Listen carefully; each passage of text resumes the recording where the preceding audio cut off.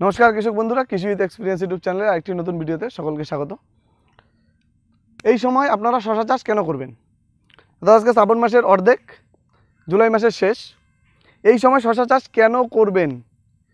সারা বছরই তো শশা চাষ হয়, তার মধ্যে এই সময় সবথেকে বেশি আপনাকে চাষ করতে হবে। সবথেকে বেশি টাকা পেতে গেলে সব, এই সময় চাষ করতে হবে। তার কারণ, বছরের মধ্যে সবথেকে বেশি দাম এই সময় পাবেন যখন ফলটা নামবে। এখন যদি শশা গাছ লাগান যখন ফলটা নামবে, বছরে সব থেকে ভালো দাম পাবেন প্লাস সব থেকে বেশি চাহিদা পাবেন। এর কারণ কি? এর কারণ হলো, যেহেতু এখন শ্রাবণ মাসের অর্ধেক, এই সময় আমরা যদি শশা লাগাই, আমরা জানি যে শশা পঁয়ত্রিশ থেকে চল্লিশ দিনের মধ্যে ফল দেওয়া শুরু করে। পঁয়তাল্লিশ থেকে পঞ্চাশ দিনের মধ্যে ফুল হারভেস্টে চলে আসে। তো যেহেতু এখন শ্রাবণ মাসের অর্ধেক, ফল ফুল হারভেস্ট হতে হতে ভাদ্র মাসের শেষ। আর ভাদ্র মাসের শেষে কী হয়? বিশ্বকর্মা পূজা। তো বিশ্বকর্মা পূজার সময় কিন্তু শশার একটা ব্যাপক রকম চাহিদা থাকে। যে কারণে এই সময় কিন্তু আমাদের শশাটা লাগাতে হবে। এই সময় শশা লাগালে বিশ্ব একদিকে বর্ষার জন্য কারও ফলন নেই, বেশিরভাগ জমিতে শশা নেই। এই সময় আমরা যদি লাগাই, এখন তো আস্তে আস্তে বর্ষার চাপটা কমে যাবে।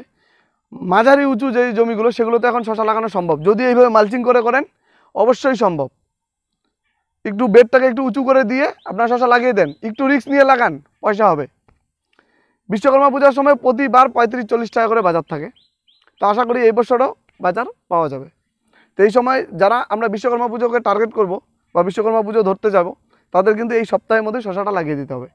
আর সেই ক্ষেত্রে অবশ্যই পঁয়ত্রিশ থেকে চল্লিশ দিনের জাত লাগাবেন, যাতে পঁয়তাল্লিশ থেকে পঞ্চাশ দিনের মধ্যে ফুল হারভেস্টে চলে আসে। তবে বাজারটা ধরতে পারব। এবং এই বিশ্বকর্মা পূজার পর থেকে একদম দুর্গাপূজা অবধি মানে দুর্গাপূজা পার করে কালী পূজা অবধি, শশার কিন্তু একটা ব্যাপক পরিমাণ চাহিদা থাকে। কারণ এই বিশ্বকর্মা পূজার পর থেকে আমাদের হিন্দুদের নানান ধরনের পুজো পার্বণটা শুরু হয়ে যাবে। তো যে কারণে এই সময় কিন্তু শশার একটা ব্যাপক পরিমাণ চাহিদা থাকবে। তো আমাদের কিন্তু এখন থেকেই টার্গেট নিতে হবে। যারা আমরা বিশ্বকর্মা পুজোকে টার্গেট করব, আমাদের মোটামুটি উঁচু জমি, তারা এই সময় লাগিয়ে দেবো এই সপ্তাহের মধ্যেই। এবং যারা দুর্গাপূজা টার্গেট করতে যাচ্ছি, তারা আর অল্প কয়েকদিন পরে লাগাবো। কারণ দুর্গাপূজাটা একটু দেরি আছে। মোটামুটি আশ্বিন মাসের শেষের দিকে। বা কার্তিক মাসের প্রথম দিকে প্রতি বছরই দুর্গাপূজা পড়ে। তো কার্তিক আশ্বিনের শেষের দিকে যদি পড়ে, আমাকে পঞ্চাশ দিন আগে অন্তপক্ষে বীজটা বসাতে হবে। মাথায় রাখতে হবে যে আমাকে পঞ্চাশ দিন আগে বীজ বসাতে পারলেই সেই সময় আমাকে ফুল হারভেস্টটা গাছ আমাকে দিবে। তো এই এতটুকু প্ল্যানিং মাথা মধ্যে রেখে আপনারা যদি শশা চাষ করতে পারেন, তবে কিন্তু অবশ্যই ভালো মুনাফা করা সম্ভব।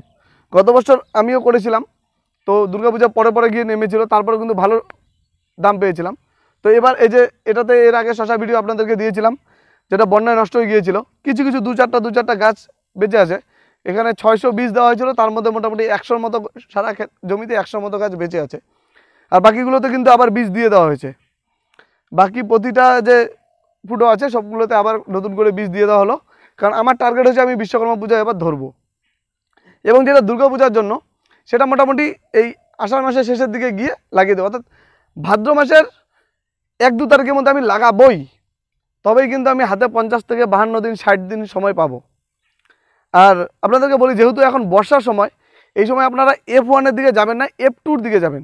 যে ওপি ভ্যারাইটিগুলো আছে এফ টু অর্থাৎ দেশি টাইপের এই শশাগুলো লাগাতে যাবেন। কারণ এই শশাগুলো যথেষ্ট পরিমাণ রৌদ্রু এবং বৃষ্টি সহনশীল। কত বৃষ্টি হবে একবার যদি গাছ আপনার তিন ইঞ্চি, চার ইঞ্চি হয়ে গেল না, তারপরে গাছের উপরে যত ঝড় ঝাপটা যাক, ও ঠিক ট্যাকেল করে নেবে। তো যে আমার যে গাছগুলো সাইডে দেখতে পাচ্ছেন, এগুলো কিন্তু বন্যায় তলিয়ে গিয়েছিল। তখন গাছগুলো ছোটো ছিল, তখন একদম তলিয়ে গিয়েছিল। এই এই জমিতে মোটামুটি এক আঠুর উপরে জল হয়েছিল, বন্যার জল। তো তারপরে তখন এই গাছগুলো কিন্তু রিভাইভ করে গিয়েছে। এটা থেকে বোঝা যায় গাছের ক্ষমতা কতটা আছে। তো আপনারা এই সময় এফ টু জাত লাগান।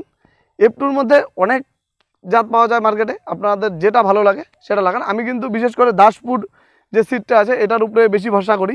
তো আগের বার দাসপুর সিটে বাহুবলী টু প্লাস লাগিয়েছিলাম। এরপরে যে আমার, এইবার যে জ্যৈষ্ঠী মাস গেল, তখনও বাহুবলী টু লাগানো ছিল।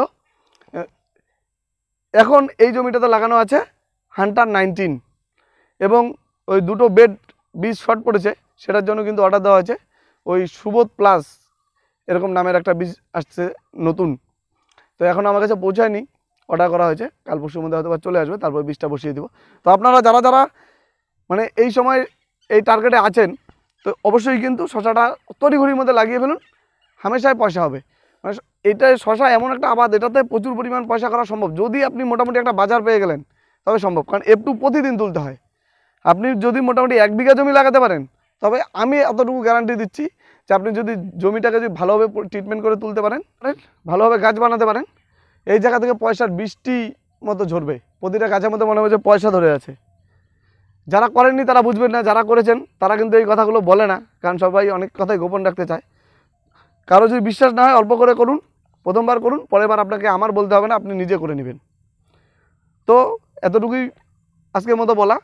তো আপনারা নিজে নিজে হিসাব করে সেই হিসাবে শশাটা চাষ করতে পারেন অবশ্যই। প্রচুর পরিমাণ পয়সা পাওয়া সম্ভব শশাতে। আজকের মতো ভিডিওটা বেশি বড় করব না, ভিডিওটা যদি ভালো লাগে, তথ্যপূর্ণ মনে হয়, অবশ্যই ভিডিওতে একটা লাইক করবেন। তার সাথে চ্যানেলে নতুন হলে কিন্তু চ্যানেলটা অবশ্যই সাবস্ক্রাইব করে নেবেন। আর তার পাশে থাকা বেল আইকনটি অবশ্যই প্রেস করে দেবেন, যাতে আমরা ভিডিও দিলেই সাথে সাথে আপনার কাছে নোটিফিকেশন চলে যায়। তো সকলেই ভালো থাকবেন, দেখা হচ্ছে আবার পরে কোনো ভিডিওতে আজকের মতো, টাটা।